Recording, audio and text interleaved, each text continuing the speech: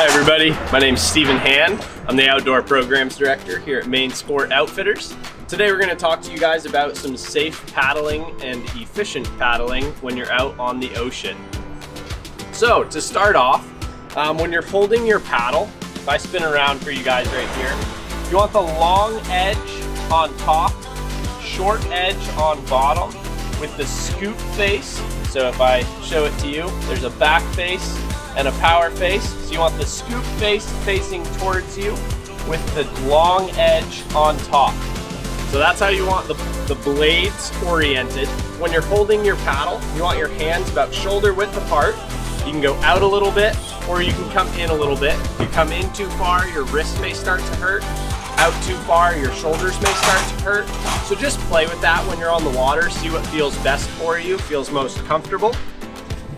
When we're in our boats, we want five points of contact. Makes us and the boat become one, which makes the boat more stable. Everybody likes a more stable boat. So we're gonna have our feet on the foot pegs. Our knees or thighs are gonna be out in a diamond shape up against the thigh braces.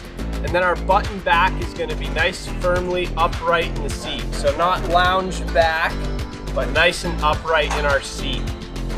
So again, hands about shoulder width apart. Our forward stroke, which we're gonna move ourselves forward. What that's gonna be is we're gonna rotate our body. We're gonna go in at our feet, out at our seat, rotating our torso. So we're gonna use our stronger muscles in our body, which is our core. So in at your feet, out at your seat, using torso rotation. So in at your feet, out at your seat, torso rotation. That's our forward stroke. Our back stroke, which we'll use to go in reverse or stop ourselves, the same thing, just in reverse. So you're gonna rotate in at your seat, forward to your feet, in at your seat, forward to your feet. So that's how we can go in reverse or stop ourselves. So we've learned how to go forward, we've learned how to go in reverse. Lastly, we're gonna go over a turning stroke called a sweep stroke. For that, you're gonna reach way out forward to your bow, make a big sweeping C to the stern. If you do that on your left-hand side, the boat's gonna go right. You do it on the right-hand side, your boat's gonna go left. Awesome.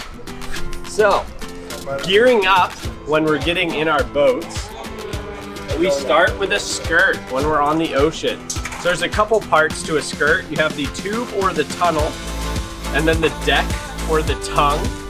The deck is gonna have some sort of handle off the front of it. So you're gonna pull this on just like you're pulling on a pair of pants or a skirt. You're gonna step right through it and pull it up. We say the higher, the drier. So I wear mine up around my rib cage. So you're gonna get it up there. This allows it to be up above your butt when you sit in it, so you get a nice smooth deck for water to feed off of. Lastly, when we're putting our life jackets on, we're gonna put it on just like a jacket, zip it up in the front. Almost all life jackets now are gonna have a sneaky little buckle at the bottom. You wanna make sure you get that snapped. And then a big mistake people make is they'll start by cinching down the shoulder straps. What you wanna do is start on the sides and work in from the sides first, keeping the life jacket nice and low on your body. So bear with me here. We're gonna cinch up the life jacket a little bit. And then once it's nice and cinched down on my side, we're then going to cinch down the shoulder straps. Once it's on there nice and tight, if you take your thumbs, put them under the shoulder straps and apply a little bit of pressure, it shouldn't raise up around your neck. So when we're wearing a skirt, there's a couple things we need to remember in the case of a capsize, which shouldn't happen because we're all gonna stay nice, dry, and upright in our boats. But in the case that it does happen, I want everybody to remember three words. Those three words are tuck, pull, and push. So the first word is tuck. You're gonna tuck forward. What this does is if you're in shallow water, you're less likely to bump your head. It also orients your hands to the front of the cockpit, which is where our grab loop is. Second word is pull. You're gonna grab that, you're gonna pull it. It's gonna break the suction between the boat and the water. The boat's gonna fill with water. 90% of the time it's gonna push you right out of the boat.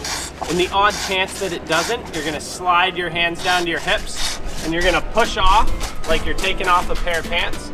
You'll pop right to the surface and then whoever you're with can help you guys get back in the boat as quickly as possible. So quick reminder, those three words are tuck, pull, push. So tuck, pull, push.